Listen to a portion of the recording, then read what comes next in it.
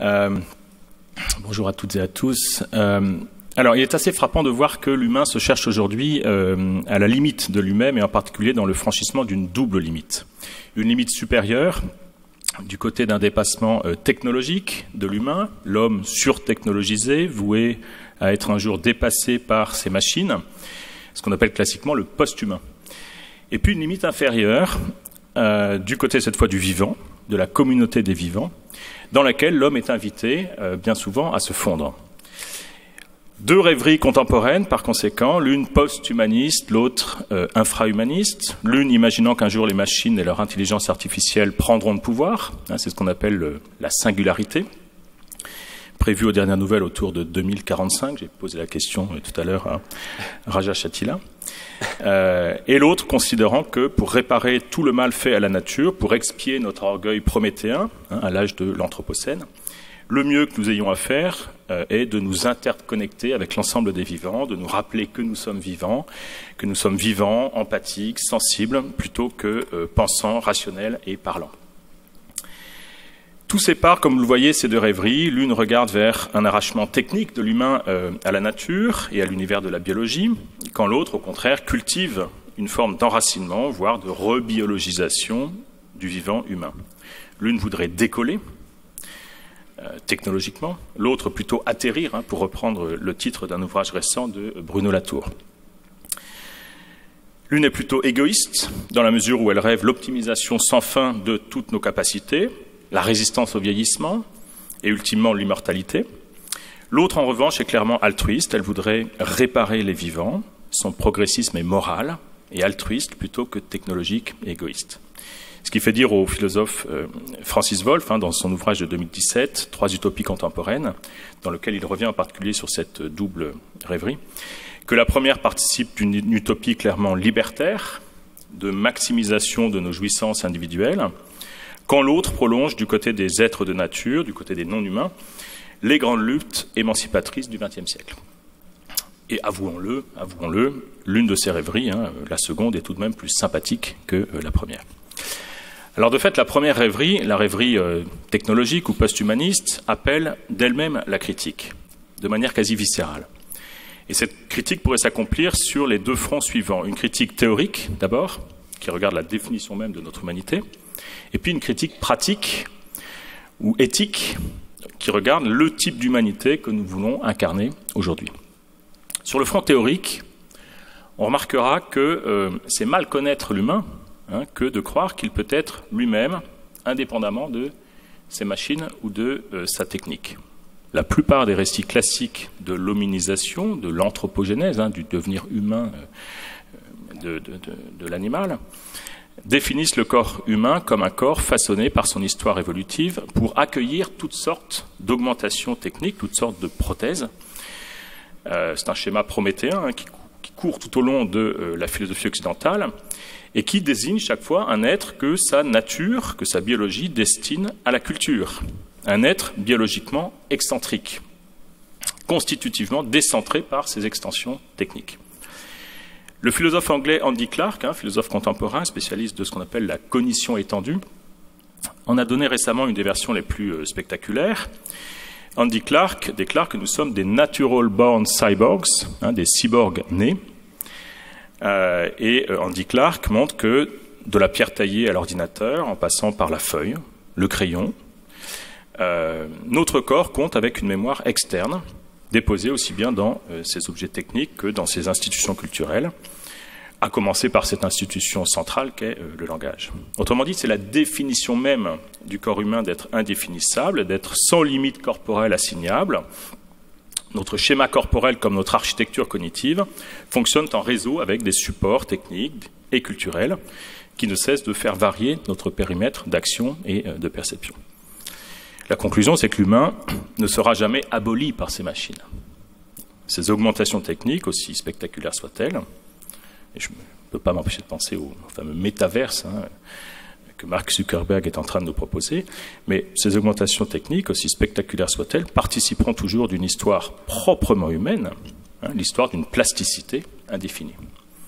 En ce sens, les rêveries dystopiques du post-humanisme quand on les prend en leur sens littéral, sont anthropologiquement inconsistantes.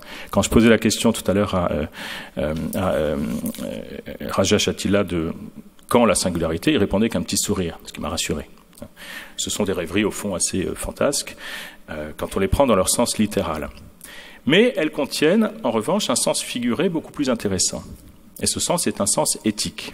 Hein, l'idée qu'on soit un jour dépassé par nos machines n'a pas véritablement de sens littéral intéressant, mais en revanche a peut-être un sens second euh, de type éthique intéressant. Le mérite en effet de ces rêveries post-humanistes, c'est de nous mettre en face de nos responsabilités. Nos machines intelligentes sont de plus en plus intelligentes, de plus en plus invasives, à travers nos écrans interconnectés, à travers nos smartphones et leurs mille applications, à travers le confort technique incroyable qu'elles nous offrent au jour le jour, ces machines de plus en plus intelligentes, de plus en plus invasives, tentent à faire de nous les simples spectateurs de nos vies, les spectateurs béats ou passifs d'une vie qui nous échappe de plus en plus, que nous faisons de moins en moins. Autrement dit, le post-humanisme n'est pas pour demain, hein, sous la forme d'un scénario de science-fiction euh, au fond euh, assez peu crédible. Le post-humanisme, c'est maintenant. Pris en son sens figuré et non littéral, il est une invitation à réfléchir sur nous aujourd'hui. Hein. Il nous pose une question éthique, une question pour tout de suite. Hein. Quel est le pouvoir que nous voulons donner aujourd'hui à nos machines? Quelle humanité voulons-nous être? Une humanité démissionnaire, spectatrice d'elle-même? Une humanité qui confierait à ses algorithmes le soin de maîtriser tous les aléas de l'existence? Ou au contraire une humanité qui déciderait de son avenir et de la place qu'elle accorde, à ces machines. Cette question, c'est la question d'une nouvelle hétéronomie, hein. hétéronomie non pas politique hein, au sens classique, hein, concernant la, la, domination interhumaine, mais une hétéronomie technique qui regarde la délégation progressive de nos pouvoirs de faire, la perte progressive de ce qu'on appelle l'agentivité, eh bien, cette question euh, d'une nouvelle hétéronomie technique, hein, nous ferions bien d'y réfléchir. Le paradoxe moral de notre temps, comme dit le philosophe suisse Marc Hunyadi, c'est que euh, nous n'avons jamais autant parlé de liberté et que pourtant, nous ne décidons pas, ou très peu, de nos formes de vie, hein, de cette question essentielle que sont euh, nos formes de vie hein, dans leur plus grande concrétude, nos formes de vie telles que les configurent au quotidien nos artefacts techniques l'évolution de ces artefacts hein, va largement toute seule. Hein. Nous la subissons largement au lieu d'en décider euh, collectivement.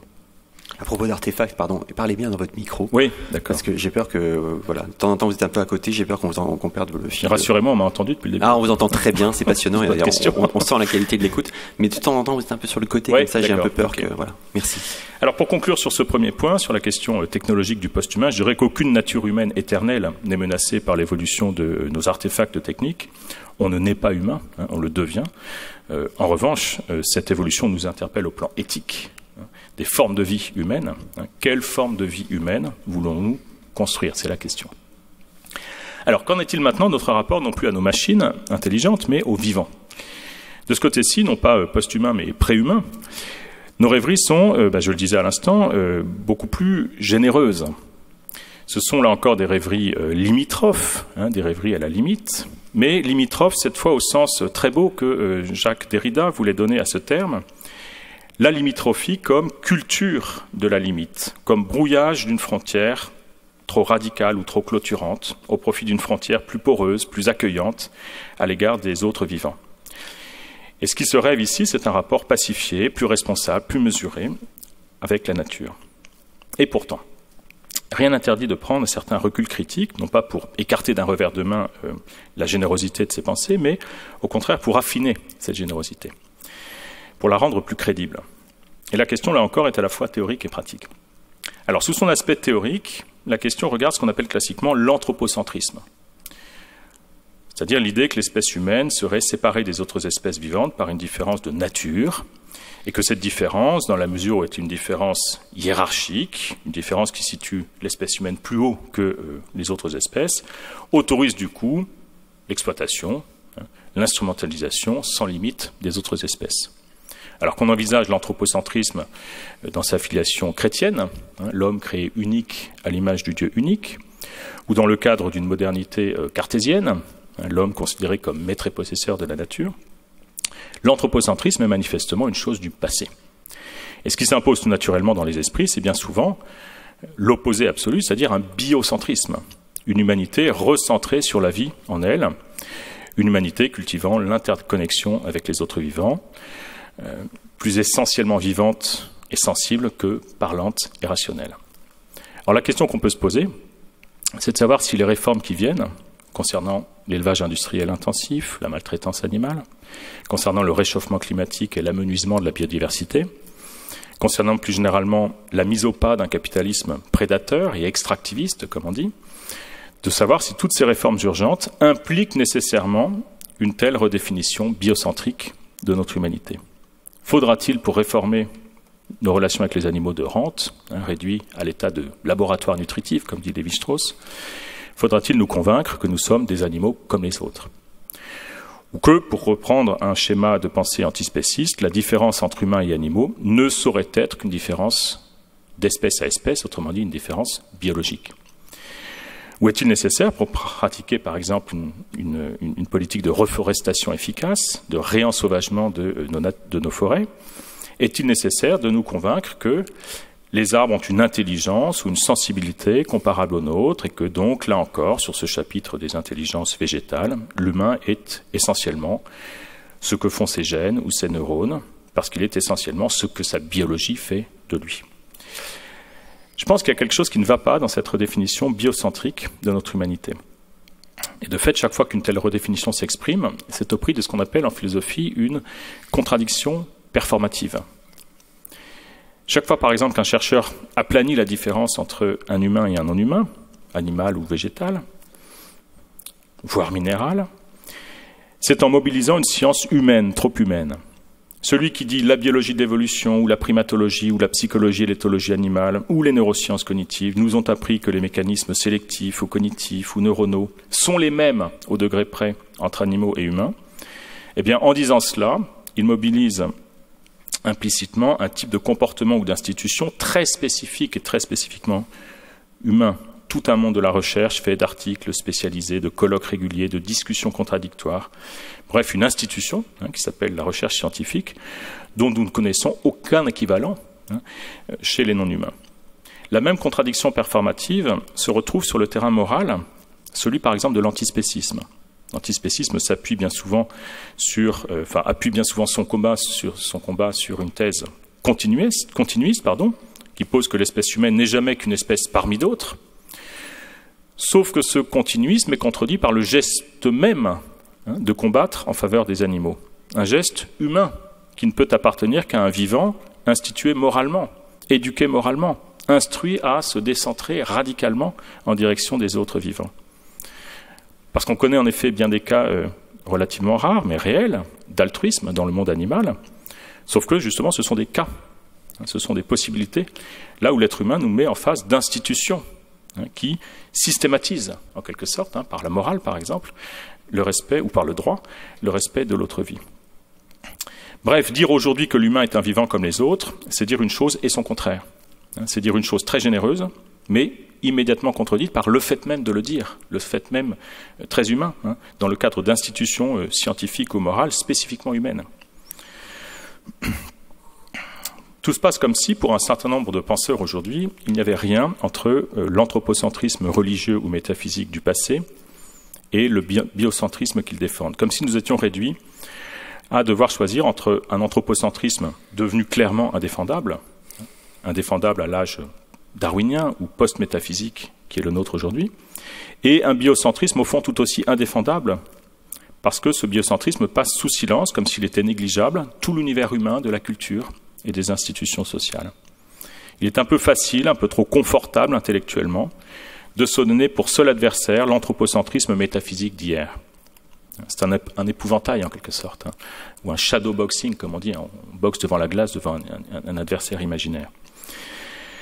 Entre cet anthropocentrisme révolu et le biocentrisme d'aujourd'hui, je pense qu'il y a place pour une vision post-métaphysique de notre humanité, qui, euh, d'un côté, ne croit pas à une humanité de droit divin, à une nature humaine éternelle et supérieure, hein, qui sait que l'humain n'est qu'un ensemble d'institutions euh, empiriquement et historiquement apparues, mais une vision qui en même temps n'oublie pas ce que ces institutions font à la vie. qui n'oublie pas la capacité du langage, de la pédagogie longue, de la science, de la technique, de l'art politique du vivre ensemble, la capacité de toutes ces institutions à transformer en profondeur la vie en nous. Nous sommes des vivants parlants et politiques.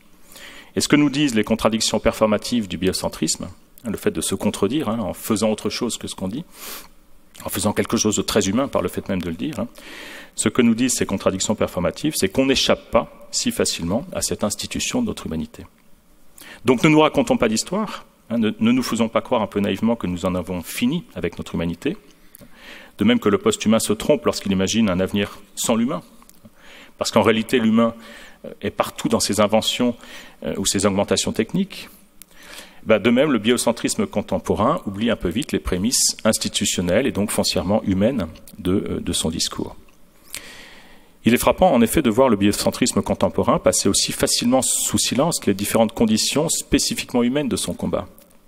Il oublie un peu vite tout ce que ce combat doit à notre humanité, euh, par exemple une éducation longue dans le, cas d'un engagement animaliste ou euh, écologiste, une éducation longue, l'apprentissage d'un savoir accumulé et sédimenté pendant des siècles, une science capable de donner à voir par exemple l'incroyable diversité des comportements et des éthogrammes animaux, capable de nous raconter dans son détail l'évolution des espèces, une sensibilisation au sort des autres vivants, donc tout un travail et une éducation de la sensibilité, des discussions, des débats, des préjugés abandonnés, des convictions de mieux en mieux argumentées, etc. etc. Alors on touche ici à l'aspect éthique, hein, je terminerai par là, et non plus théorique de la question. J'évoquais tout à l'heure, à propos des rêveries post-humanistes, le risque d'une nouvelle hétéronomie. Une hétéronomie technique hein, qui nous rendrait spectateurs et non plus acteurs de, euh, de nos vies. Il me semble que pointe un risque comparable du côté du biocentrisme. Quelqu'un qui aujourd'hui veut sortir de la logique productiviste et extractiviste propre au néocapitalisme, qui tente de bâtir une communauté égalitaire et pacifiée hein, de tous les vivants. Celui-là, bien sûr, œuvre dans le bon sens, mais chaque fois qu'il rêve l'interconnexion universelle de tous les vivants, chaque fois qu'il rêve les empathies, les communications spontanées propres aux vivants, on peut dire qu'il rêve une politique sans politique. Une construction du commun, mais qui se ferait toute seule, par droit de nature, hein, parce que les vivants seraient tels qu'ils seraient immédiatement et spontanément interconnectés, hein, comme si nous n'avions plus rien à faire que de nous fondre dans cette politique naturelle.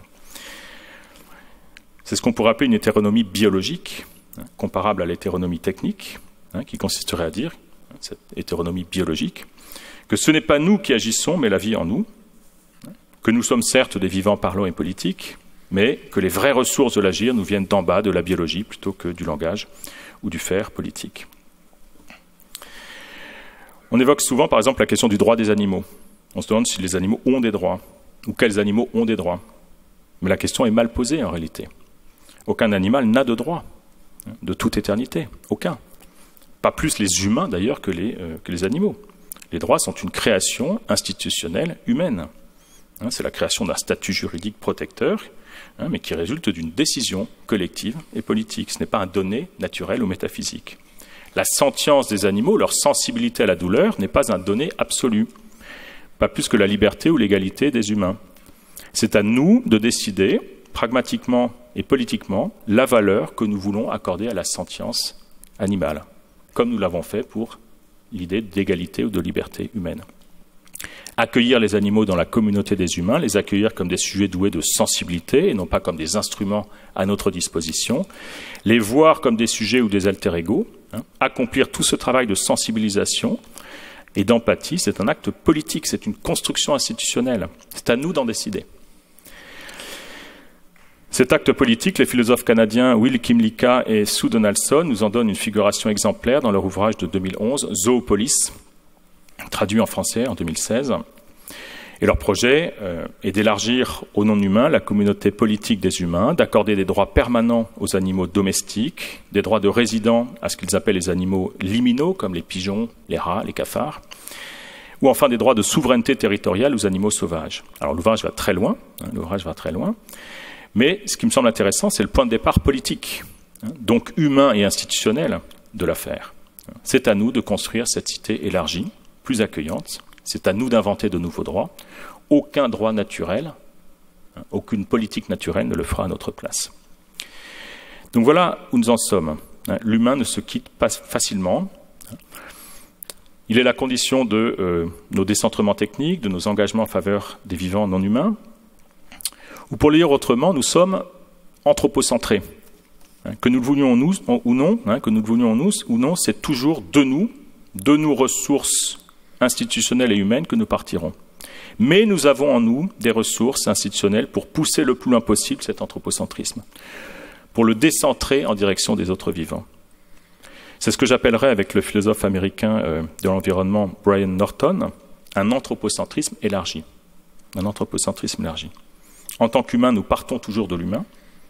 Nos attachements sont des attachements concentriques. Hein, d'abord nous-mêmes, puis nos proches, puis nos moins proches, et ainsi de suite jusqu'à pouvoir nous préoccuper du sort d'inconnus menacés par une catastrophe naturelle, ou d'animaux élevés industriellement, ou d'espèces vivantes en voie d'extinction, hein, oui, un cercle qui s'étend, hein, comme disait le euh, philosophe euh, utilitariste Peter Singer. L'anthropocentrisme élargi connaît l'attachement à soi du vivant humain, mais c'est en même temps que ce vivant a en lui de puissantes ressources institutionnelles de décentrement, hein, c'est-à-dire d'attachement ailleurs, loin de nous-mêmes. Ainsi, par exemple, du langage. Et je terminerai par lui parce que euh, c'est sans doute l'institution source, hein, l'institution de toutes les institutions. On l'a souvent conçu comme marquant une frontière définitive entre humain et non humain, hein, ou entre vivant parlant et euh, non parlant. Hein, et le, langage est souvent à l'origine de dualismes puissants logos, physis, culture, nature, esprit, corps, forme, matière. En réalité, je pense qu'on peut concevoir autrement le langage que euh, de cette manière séparante ou dualiste. Je pense que le langage, dans sa facture spécifiquement humaine, c'est-à-dire prédicative, est l'institution potentiellement peut-être la plus inclusive, celle qui porte la possibilité des plus grands décentrements.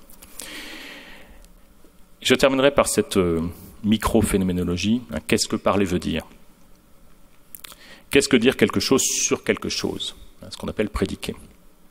Je dis par exemple ce micro, alors pas celui-ci, pas celui-ci, ce micro, hein, je le montre du doigt, ce micro est bien pratique j'attribue un prédicat bien pratique à un sujet, un sujet de prédication qui s'appelle ce micro.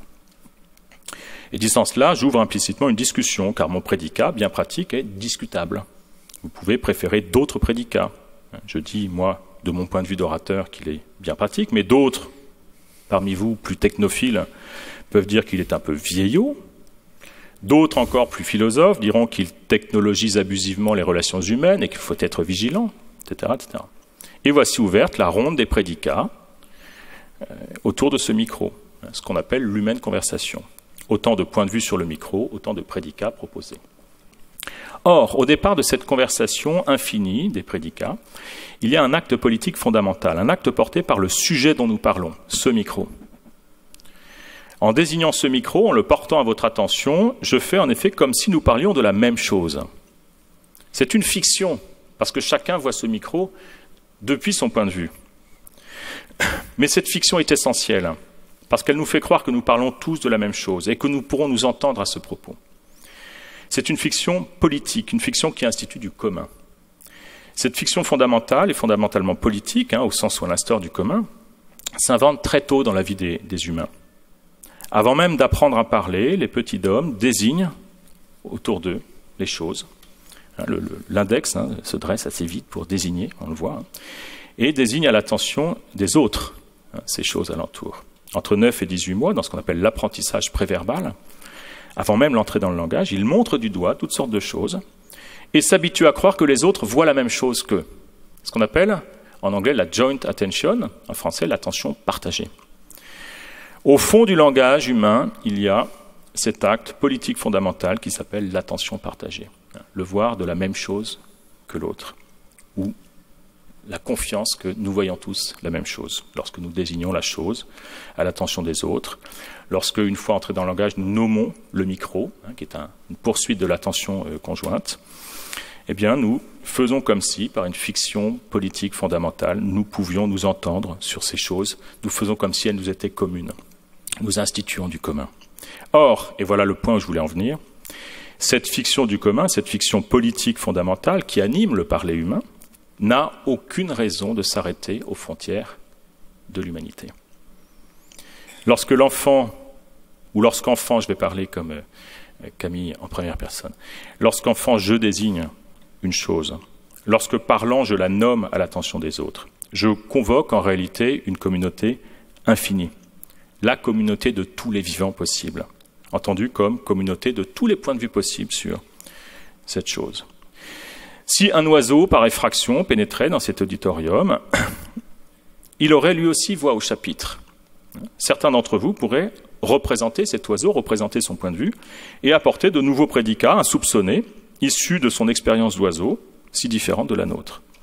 Et c'est ainsi que dans la communauté politique élargie de euh, Donaldson et Kimlicka, dans leur zoopolis, tous les points de vue humains, mais plus généralement tous les points de vue animaux, sont représentés. Et c'est ainsi que dans la démocratie élargie que projettent aujourd'hui les animalistes et les écologistes, les non-humains, on voit au chapitre. Cette représentation des points de vue non humains appartient au parler humain. Un anthropocentrisme élargi peut aller très loin dans la, construction d'une communauté hybride. C'est une décision qui nous incombe hein, et qui incombe éthiquement, si je puis dire, à chacun d'entre nous. La communauté des vivants que rêve le biocentrisme contemporain est en réalité une communauté humaine. C'est à nous, humains, de construire cette communauté politique élargie. C'est à nous d'inventer de nouveaux droits. Personne ne le fera à notre place. Alors je conclus d'une phrase hein, en disant que nous posons souvent de fausses questions anthropologiques. Hein. Non, l'homme n'est pas menacé de disparition euh, par le haut, technologiquement, ou par le bas, du côté des vivants. Ni nos machines intelligentes, ni la communauté des vivants ne menacent une supposée nature humaine éternelle. Il n'y a pas de nature humaine éternelle, hein. il n'y a qu'une humanité qui s'invente dans ses augmentations techniques, comme dans ses institutions euh, sociales et culturelles. Mais du coup, les vraies questions aujourd'hui sont des questions éthiques des questions qui mesurent la portée de nos décentrements. Jusqu'où voulons-nous aller dans nos extensions techniques? Jusqu'où voulons-nous aller en direction des autres vivants? Peut-être, hein, je termine par cette suggestion, peut-être un peu moins de machines intelligentes et un peu plus de communautés vivantes. Hein, c'est une simple suggestion. Je vous remercie.